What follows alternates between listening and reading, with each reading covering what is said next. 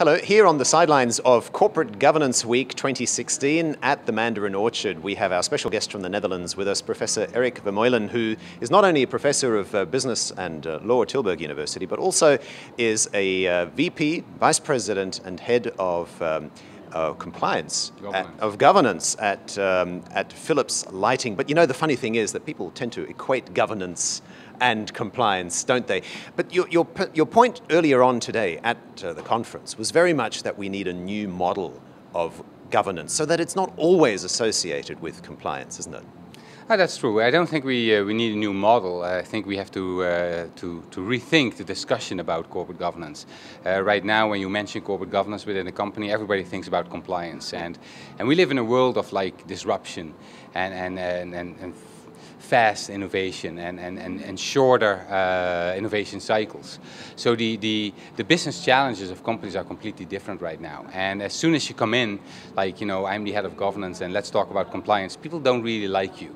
Uh, they want to move forward. So they basically have the question, how can you help me be business leaders uh, help this company grow, help to create value for our stakeholders, investors, uh, consumers, everybody. So if we had to now rethink uh, governance, what should your title actually be? Head of Innovation Facilitation or something like that? I think head of governance is good, but it's uh, it's basically uh, maybe you know head of value creation, something like that. I think governance has, has many things to do with value creation. Uh, governance can can give a heart and soul to the company and, and, bring it to the 21st century. As I mentioned today during the, uh, the presentation, uh, I think we have to talk about and think about the board composition, you know, who should be on the board.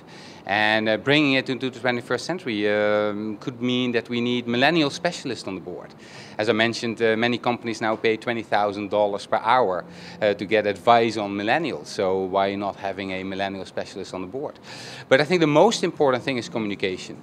Uh, I think within corporate governance and compliance, we, we just you know, provide a lot of pages to the market because that's what we have to do. Mm.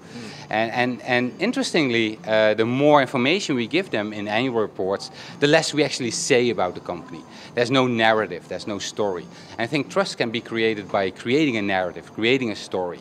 And uh, what some companies do, they have shareholder letters to the shareholder, where the CEO uh, writes a letter to the shareholders in a very engaged, personalized way. And that builds the trust we need. Some good examples are Warren Buffett's uh, letters or uh, Jeff Bezos' letters. And, and, Google also, they, they basically adopt uh, Warren Buffett's model. And Warren Buffett is, is, old, so you don't have to be very young in order to do this. And, and some others use uh, social media, like Twitter.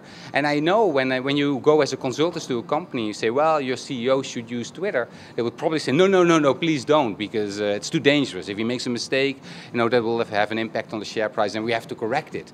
Because we, corporate governance specialists, we discipline the company, right? But that's not how you should view it. You should basically this is the new way. You should look at it like this is the new way. So how can we use it to, to engage with our stakeholders, yes. which are like the consumers, the investors, etc. And so, so um, all of these things are obviously upon us anyway. But your point, I think, is also that because we now have completely new business models, such as hotel companies that don't own hotels and taxi companies that don't own taxis and so on, that this reform of governance that you talked about, to focus more on value creation and less on box checking, that reform is going to be forced upon us to some extent, isn't it? It's not, it's not going to be a choice anymore in the future.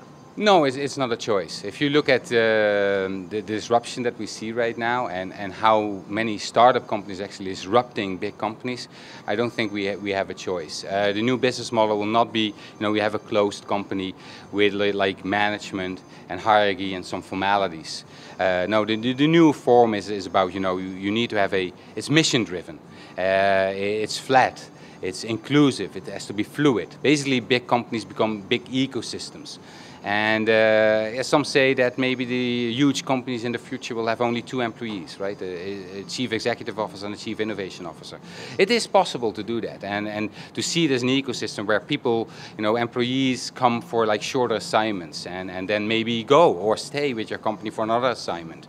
Um, there's a nice book written about it by Reid Hoffman, uh, the founder of LinkedIn, how, how the employer-employee relationship is actually changing. Uh, but also how you have to work as a big company with startups. So basically big companies become big ecosystems. And in order to, to get that going, in order to make all these things work, you need to have, you know, you need to communicate and you need to embrace new means of communication and also new ways and the content of the, uh, the, the, things you communicate should change as well in order to create trust within this big ecosystem that will um, that will be the only possible way for a big company to remain relevant is creating and embracing this ecosystem thought. Thanks for communicating that to us at the conference this year. Okay, Professor Erik Vermeulen, and once again, you can go to other parts of this playlist to see other interviews here on the sidelines of the 7th Corporate Governance Week 2016 at the Mandarin Orchard in Singapore.